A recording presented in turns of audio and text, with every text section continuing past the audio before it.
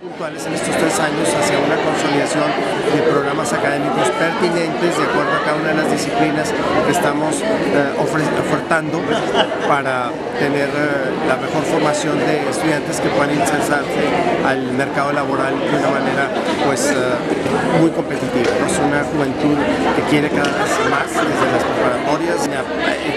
Nos dedicamos a dar educación desde el bachillerato hasta el posgrado, entonces llegar al 100% al Sistema Nacional de Bachillerato. Es muy importante que todos los bachilleratos estén en este sistema.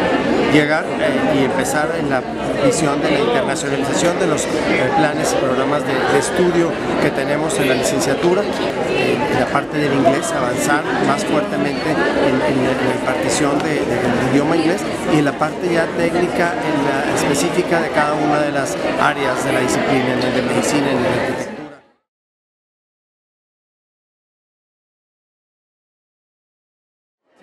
todo el fortalecimiento de la tecnología de la información, la parte del internet, la parte de sus laboratorios, la parte de los softwares para, poder ir complementando sus, estudios.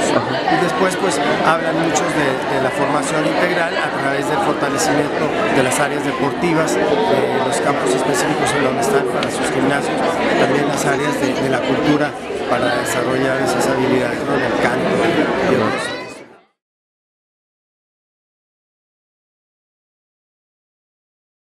centro universitario, vamos a decir una, un poco más que una, muy buena cafetería, un centro de esparcimiento para los jóvenes, una, un área común para y en la parte de, educación sigue el área de humanidades con la, primera etapa de música, la escuela de música es de las que sigue y tenemos el proyecto de, la Academia Interamericana de Derechos Humanos, que es una apuesta del gobierno muy fuerte por la consolidación en este tema.